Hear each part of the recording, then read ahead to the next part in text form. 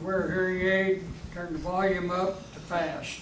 Right? If you're thinking about sleeping, I'll be done in about 12 and a half minutes. This is the shortest sermon I think I ever preached. It's Father's Day, isn't that my right, guys? Preach. And she said, I'm taking you out to dinner afterwards, and I'm hungry, so I'm headed out to. I want to thank y'all for being here today. It is a special day. It's a special day when we honor the fathers that have so faithfully served us. One of the greatest legacies that my father ever left to me was my faith. Absolutely. Dad wasn't a minister.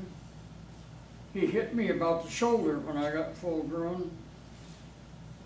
It was about that wide, just about that tall, just about that thick through.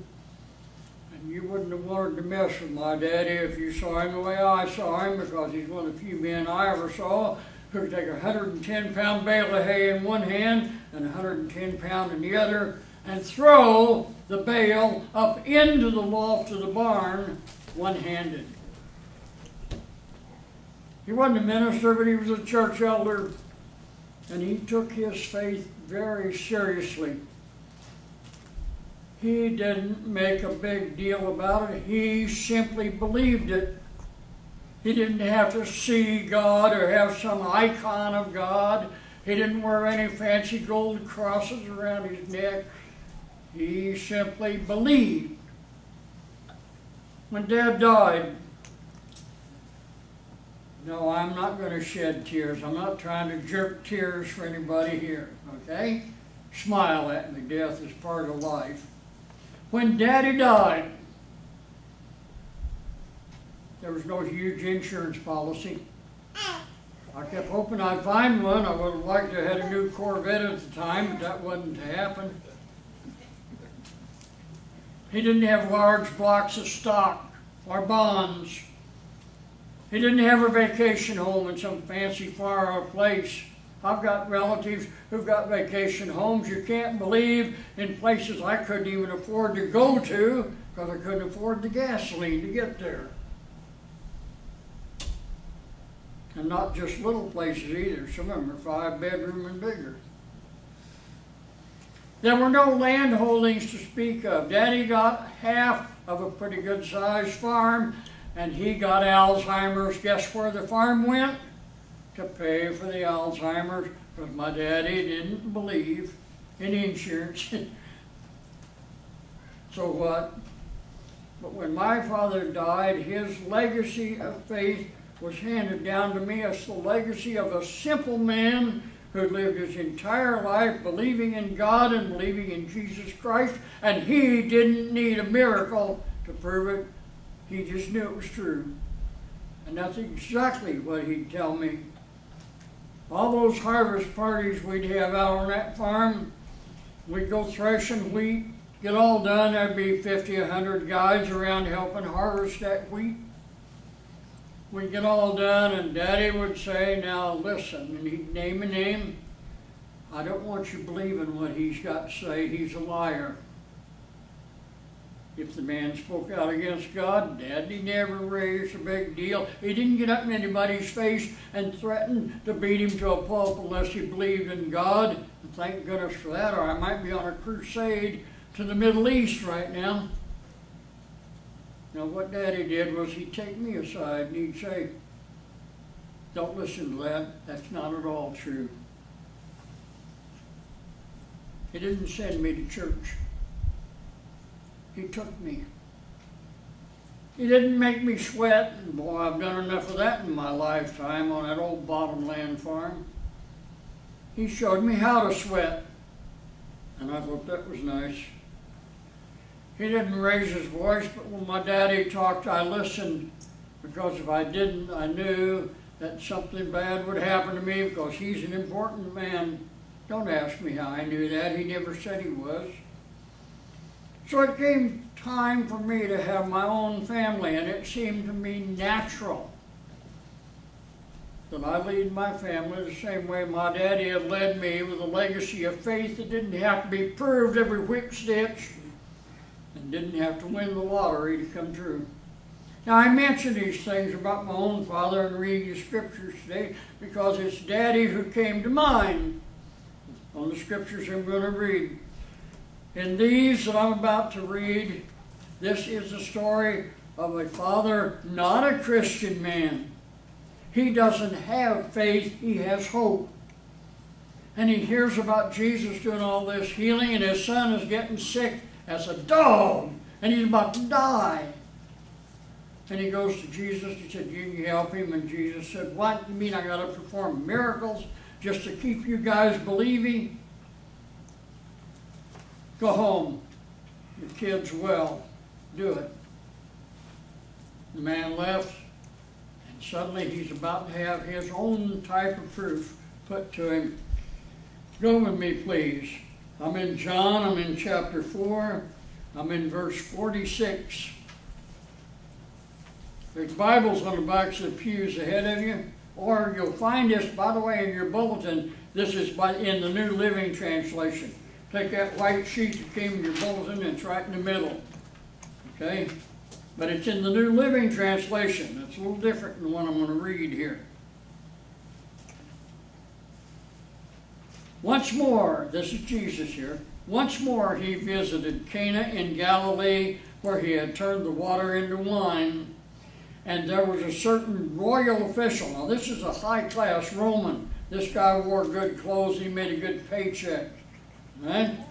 And there was a certain high class royal official whose son lay sick at Capernaum.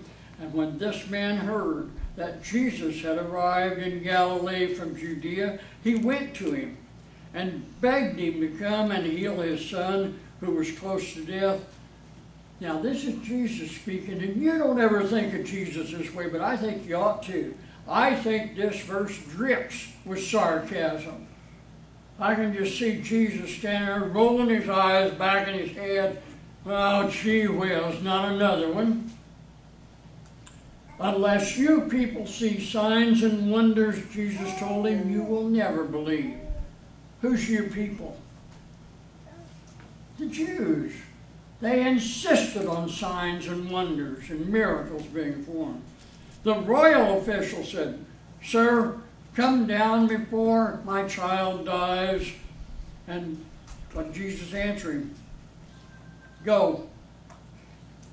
Go, Jesus replied, Your son will live. And the man took Jesus at his word and departed. When he was still on his way, his servants met him with the news that his son was living, and when he inquired as to the time when his son got better, they said to him, Yesterday at one in the afternoon, the fever left him.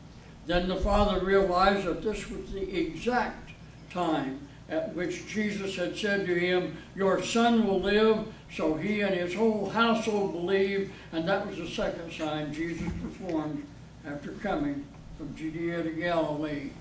How many signs do we need? I put to you that this father came to Jesus only with hope. He didn't have faith, he had hope.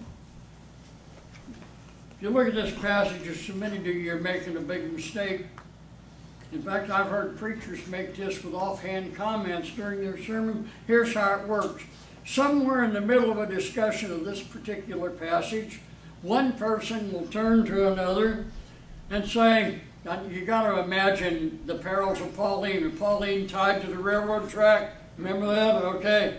I rem- okay, I'm old enough to remember that. You don't have to. All right?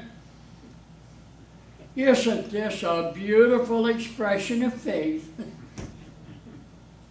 yes, it is, but not yet. That's where people make the mistake. Yes, it is, but not yet. The guy's still operating on hope. I put to you that the father represented here was not motivated by his faith at first. He just didn't want his kid to die. Heavens, all fathers feel this way if they're worth a single grain of salt. The father didn't know about Jesus directly. It doesn't say he followed him around watching the miracles. This father knew about Jesus by hearsay. And I hear that this Jesus guy did all these miracles, and he's hoping he'll do it for him. And right there, well, I'm sorry, that's one of the pitfalls of the prayers we make. Me too. I had to include myself in this. We seem to think that because we're not always perfect in our faith, then Jesus won't listen to our prayer. Or even if he does, if we ask him, we hope for the best, but we don't expect the best. We become desperate. So we say the prayer anyway, like this desperate father. Oh God, you gotta help me. Okay? Of course, probably won't get that prayer answered either. I mean, I didn't win the lottery last week, did you? See the difference? It's the difference between real faith that doesn't doubt at all and hope that has full of doubts in it and all kinds of human arguments. Dad in this Bible verse was not a Christian. He wasn't some saint in the scriptures who could run around and write whole books for the Bible. He's an ordinary guy who thinks he's some sort of big shot, biggie wiggy kind of guy, making major decisions, a royal city official, a Roman citizen, and he's coming to Jesus out of desperation. He's not a Christian.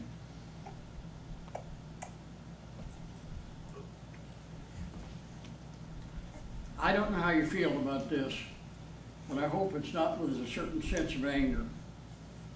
Because I want you to understand where I'm coming from here. I'm going to reread my version of what Jesus said to the man. This is half gospel according to Harry. It's not in the Bible, but here's what I think happened. What? He's talking to this guy. Do I have to do miracles continually so you will believe? And here's what I've added. Couldn't you just take my word for it, please? See what Jesus is asking us? Couldn't you just take my word for it? I'm the Son of God. This is how it is. Couldn't you just take my word for it? We say, no, we can't. I'd really prefer the miracle. Could I win the lottery next week?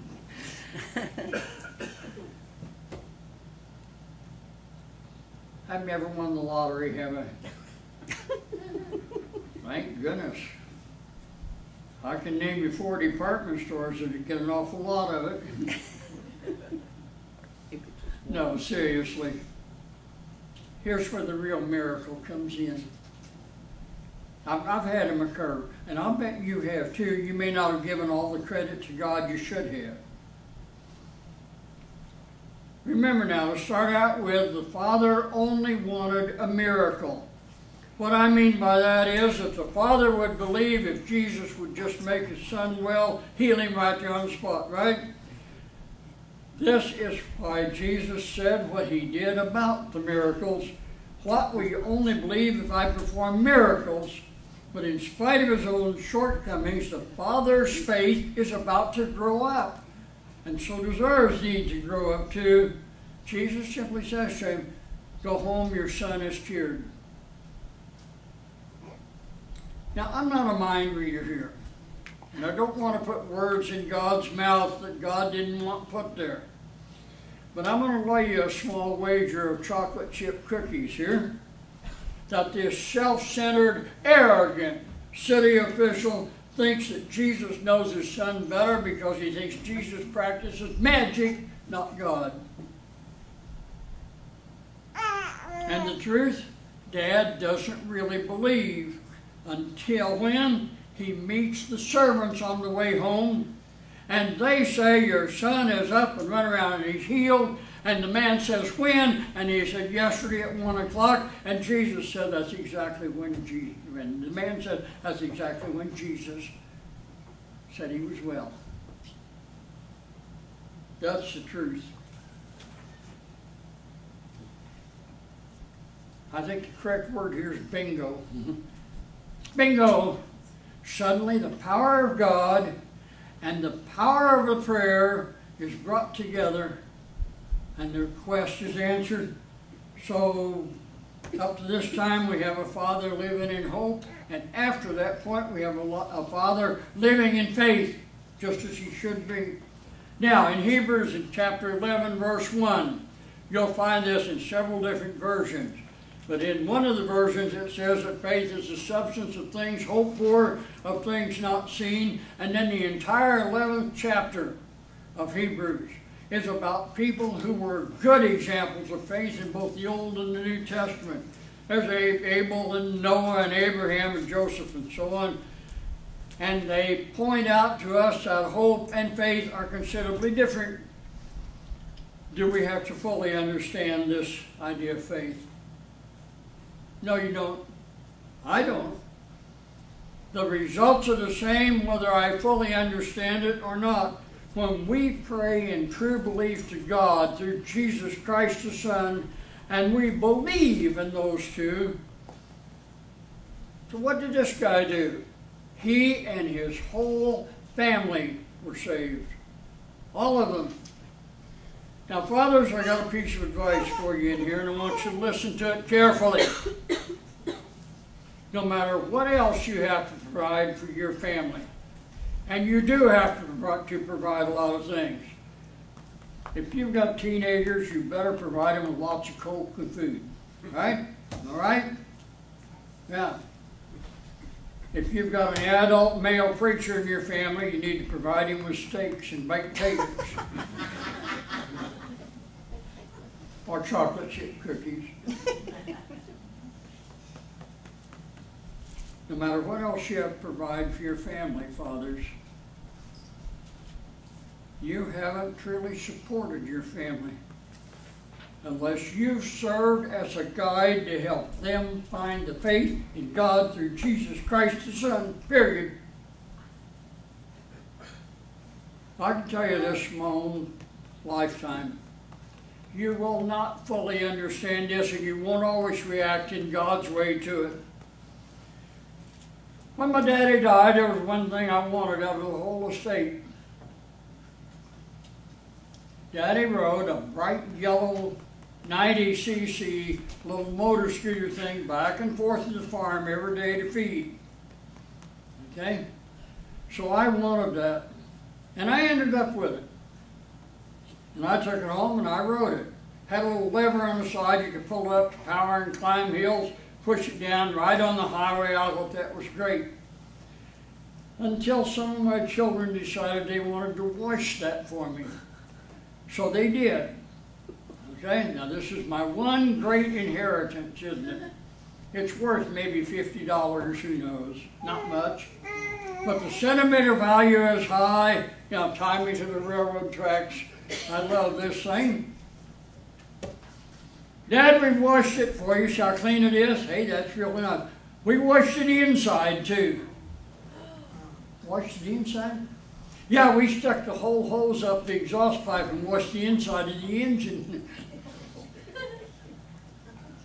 now listen, to my everlasting credit, I did not jump up and down and scream and cry. Not until later when I was locked in the bedroom with my wife where she could console me.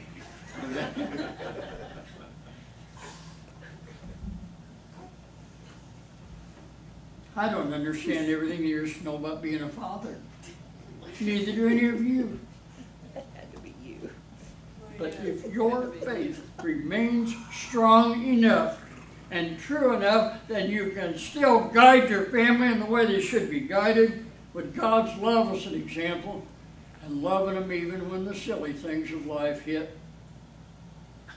The truth is this. Faith reaches its victory when Jesus answers our prayers, and He will. And faith reaches its victory when we believe simply because we believe, and we don't have to have proof anymore. We believe because God is His own proof in all things. God's His own proof. You don't have to go down to coffee shop and defend God. You, you don't have to get on a street corner and have an argument with somebody of another faith and tell them that you're all wet.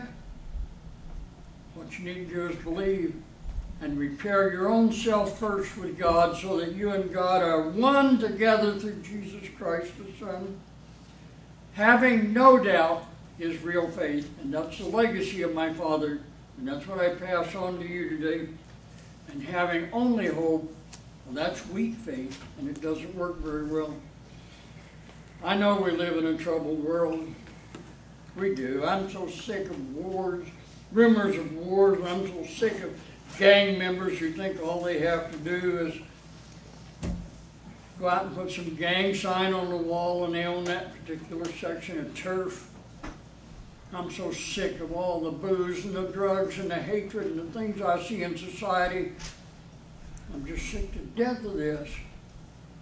But it's going to get worse before it gets better, and it's time that we decided we're not going to be a part of that scene. We're going to be a part of God's scene. We're going to be good in this life because we have that ultimate faith. I'm all done preaching. If you want to join up with God, then you come down front the end of the invitation song and let me take your confession of Christ. And then we'll go in the baptistry and let me get you're washed clean in the water and the blood, the Spirit of Jesus Christ. So that you can die with him to the world and be raised anew, just like he told Nicodemus. You must be born again. As we stand and sing, 325.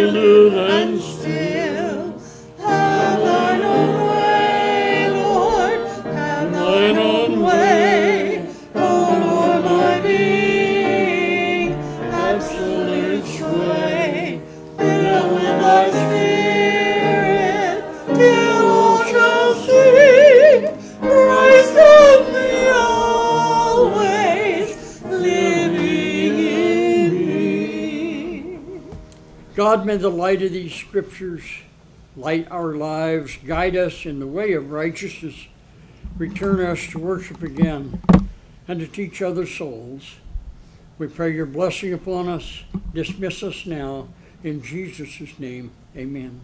May the good Lord bless and keep you.